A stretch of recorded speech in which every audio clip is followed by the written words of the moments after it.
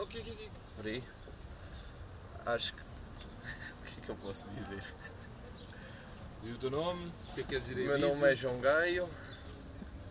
Sou estudante de Ciências Farmacêuticas. Cuidado aí com o canudo, filha. Cuidado com o canudo, que ele é novo. Acho que devo ir a Ibiza. Porque sempre gostei de uma boa espanhola. E acho que lá no que toca a, a bebedeiras aquilo é do melhor. Já estou farto das aulas. E estou a precisar de umas grandes férias.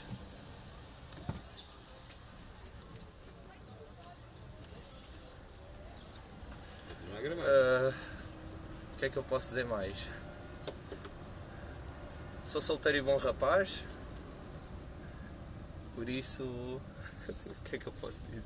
O que é que eu posso. O que é que eu posso dizer mais? É pá, estou mesmo desinspirado hoje. Ah, um conselho, Conselho? sim. Diz. eh, Canta. Tem uma musiquinha.